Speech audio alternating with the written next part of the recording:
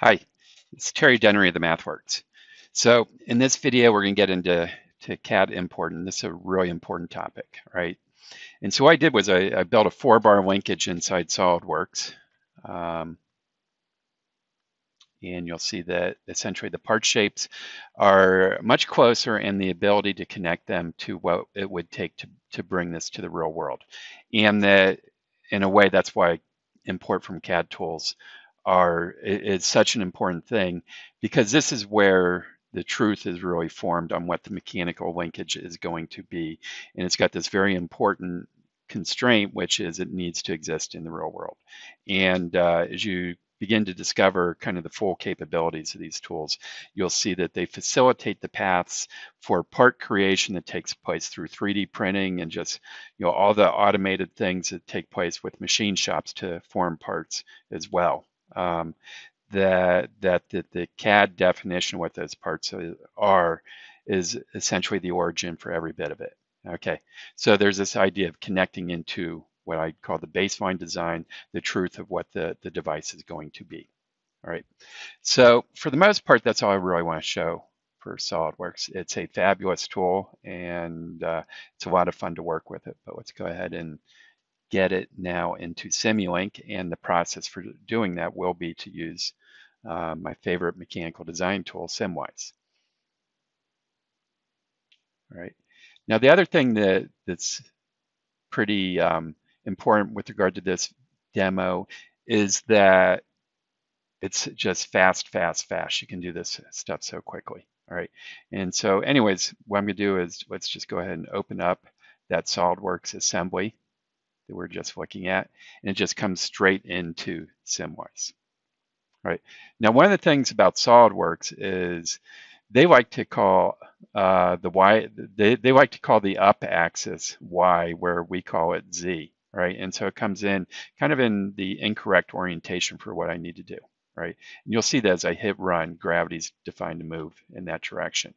So of course, there's a number of ways you might choose to fix this. One of those be, you know, change your direction of your gravity axis. But uh, the way I'm going to do it is let's let's let's rearrange the assembly direction, right? And so let's make this oops SI degrees for my units. And now I can go into this part and type in 90 and I'll rotate it 90 degrees about the x-axis, right? So you can see that, well, that's not exactly what, what I want. I want the whole assembly to rotate. So we're going to introduce a very useful uh, capability called rigidly join the entire assembly, right? And so now when I rotate it 90 degrees, the whole assembly moves as I want it to. Now, one of the things I've been very attentive to is this idea of what I call the front view. And at least for me, the front view is staring down the x-axis. And this isn't exactly the orientation I want. I want it to be kind of flipped 90 degrees, right? And so let's kind of take care of that. And I'm going to do it by forming a joint. Right, and so I'm going to place a coord on my ground, and I am going to um, orient it exactly at the origin of the world frame, like that. And it's got the orientation, Rx, Ry, Rz are all equal to zero as well. Right, and so what I want to do is take this point, the center of that face, and that's going to be coincident with the world origin. Right, but um, I well, we'll see in a second. So what I want to do also though is I want to make its orientation consistent with the world position and we'll see that currently that orientation for snapping to the center of that face has it um, rotated 90 degrees, right? And so again, to kind of accommodate this view I want to get it to, I would need to rotate it an additional 90 degrees, right? So again, I practice this and I know that this is kind of the key to getting it where I want it to be. Again, let's position it in the world orientation. We'll make that 90. Apply, close, all right. And so now we'll just select these two. And you'll see I can right mouse click to create constraint. I will form a rigid joint and I will move the entire assembly to that that that uh, origin position on the world reference frame, right? And if I look at it now, looks pretty good. Okay, and if I hit run, nothing fall, well, nothing moves, right? And so now's the time to unrigidly join. And let's just kind of finish this up with the joints that will accommodate what we need. And so I'm going to just double click on this pin, which is our other connection to the world reference. And so I'll, I'll fix its position. And we'll see everything falls except for those, those two pins. And so now let's go put the Revolute joints in. Right, and so I'm going to do a little trick I like. Right, and so I'm basically hiding everything except for these two. But what I really like about this is that these circular edges kind of facilitate rapid. Uh, let me double click on the coord frame, joint, the coord tool, and it will give me continued use of it. And so I can very rapidly, using the feature detection of the tool, place the frames where I need them to be.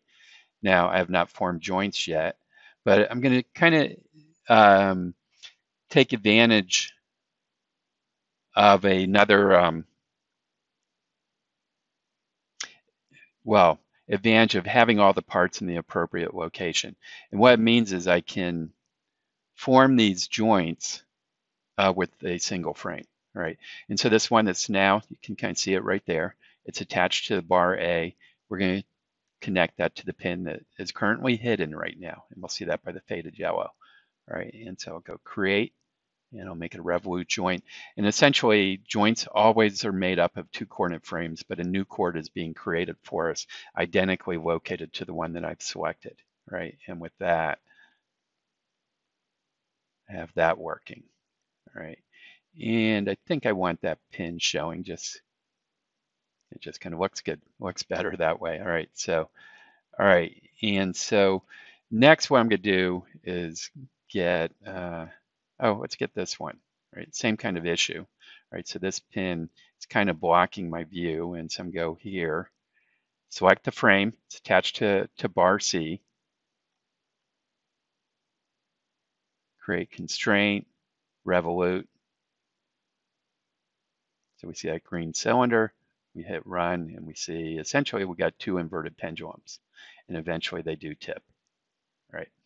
And so now Let's get this last one, and I'm going to hide this bar just quickly to get them in. All right. And so that'll be a revolute. And this one will be a revolute as well.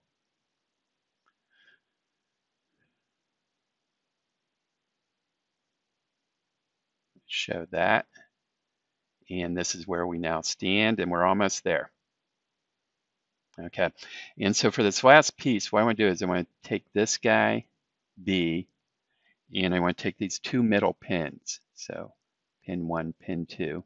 So that's my selection. I'm again going to visibility, hide all others. Oops, no, need that one. So I'm gonna hide that too. Oops, that's showing that this is the pin that I did want. So there's pin three. So anyways, good that we got visual confirmation. And you know, the point I want to make here is these these three, you know, essentially are all welded together. So you might as well think of it as one part, right? And so the path to doing that is to insert that as a subassembly. And so I'm going to give it the very simple name of capital B assembly, assembly. All right. And we're almost there. Okay.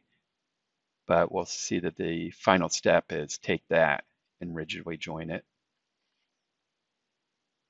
Hit run. And then finally, let's just kind of go put our motor in. So clicking on pin one, I come to this little list showing what pin one's associated with, and we're gonna just turn that revolute joint into a motor. Now, I like to begin this process by just simply renaming it, but ultimately we have to do it by changing its definition. And so that's now a motor and the whole thing rotates properly. I'm going to come up to this constraint and really prepare us for doing the whole MotionGenesis thing when we're ready, right? So this thing here is a revolute joint. I know it because it shows up as a cylinder. And so let's change its name to, I think I'll call it sphere slot. Okay, so that means it can you know, change into a spherical on a slot, and I'll call it loop constraint too, right? And so again, there's a redefinition, and we talked about in a previous video that there's a redundancy by by representing that with a cylinder, which I like to address. You don't really need to, uh, but it certainly helps us as we move into MotionGenesis, especially with the automatic detection that hey, this is this is the one that we're going to uh, um, apply the loop constraint through, right? And so you'll see that it's got the little green line indicating it can slide about that axis. I hit run, and I think we're there, right? And so uh, again, I'll go to the view that I like so much. All right, there we are. All right, and so let's go ahead and save it. Gonna see it's gonna show up. We see MATLAB in the background right there. It's gonna show up in that directory as it does right there. And then finally, let's just go to get geometry. Got it. Okay, and let's import to Simulink. And so while that's happening, I'm going to just go in and talk about a couple of things. You know, one is this idea of the one truth. So connecting into the baseline of the mechanical design, super important.